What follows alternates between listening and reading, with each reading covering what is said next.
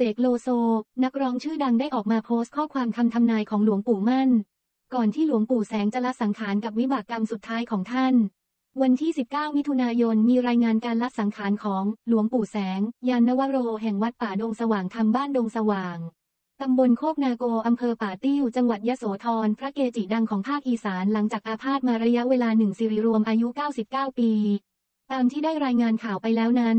ล่าสุดเสกโลโซนักร้องชื่อดังได้ออกมาโพสต์ข้อความระบุ ท่านไปนิพพานแล้วจริง ๆ ตามที่ท่านพูดว่าท่านจะละสังขารเร็วๆนี้คำทำนายของหลวงปู่ม่านชานของท่านแม่นยำมากท่านทำนายว่า ก่อนที่หลวงปู่แสงจะละสังขารหลวงปู่แสงจะต้องเจอวิบากกรรมสุดท้ายเกี่ยวกับเรื่องผู้หญิง เมื่อท่านผ่านพ้นไปได้แล้ว ท่านก็จะเข้าสู้นิพพาน สาธุสาธุสาธุรำลึกถึงหลวงปู่แสง ท่านละสังขารวันจันทร์ที่วันที่ 19 มิถุนายน 2566 สาธุ